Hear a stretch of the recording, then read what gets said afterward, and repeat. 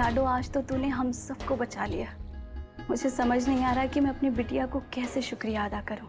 बुआ बिटिया भी बोले और शुक्रिया भी। माँ के मुँह से ऐसे शब्द अच्छे ना लागे। हैं अगर आपने और कुछ बोला ना तो थारी और मारी कट्टी। अच्छा बाबा तुझसे जीतना किसी के बस की बात नहीं। और बुआ मैंने शाम के खाने की तैयारी भी कर दी है। आप थोड़ी देर और आराम कर लो। जिन जादू वाले हाथों से तूने काढ़ा बना कर दिया था ना, उसको पीने के बाद मेरी तबीयत बिल्कुल ठीक हो गई है।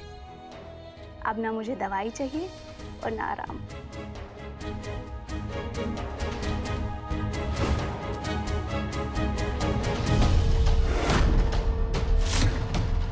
वसु, हुकुम, जल्दी छिप।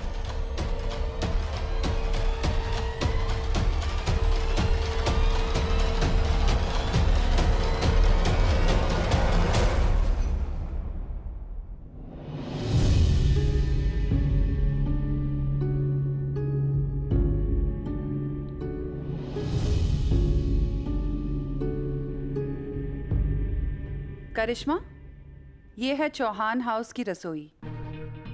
आगे चलकर तुम्हें ही ये सब संभालना है। पर ध्यान रहे, ऐसा कुछ कभी मत करना, जिसकी वजह से अन्न और अन्नपूर्णा माँ का अपमान हो। हम्म?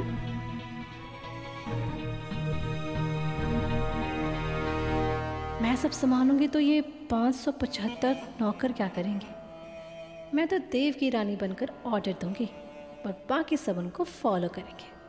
और ये है सावित्री इस रसोई की इंचार्ज और चौहान हाउस की मैनेजर सावित्री ये है हमारे घर की होने वाली बहू करिश्मा। खम्मा गनी मैडम। करिश्मा को तुम्हारा बनाया हुआ खाना बहुत पसंद आया। वाकई आपने सेवन स्टार शेफ से भी बढ़िया खाना बनाया था। आपको मुझे एक प्रॉमिस करना होगा। कि आप मेरी शादी में भी ऐसा ही बढ़िया खाना बनाएँगी। प्रॉमिस मेरी तरफ़ से आपके लिए ये छोटा सा गिफ्ट मैं कैसे? अरे मना मत कीजिए। आपने इतनी तारीफ़ कर दी हमें हमारा तोहफा मिल गया। आंटी अगर आप कहेंगे तो ही ये मानेंगे। रख लो सावित्री।